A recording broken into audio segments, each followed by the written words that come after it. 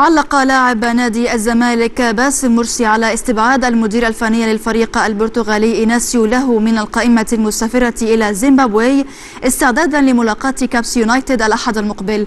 حيث نشر مرسي صورة لشعار نادي الزمالك عبر حسابه بموقع إنستغرام معلقا عليها بأن الجميع يأتي إلى نادي الزمالك ويفني له ولكيانه. وكان إيناسيو قد استبعد باسم مرسي من رحلة زيمبابوي لحصول اللاعب على راحة سلبية بناء على طلبه قبل خوض مباراة بتروجيت مساء الثلاثاء بالدوري والتي حسمها الأبيض بهدفين نظيفين.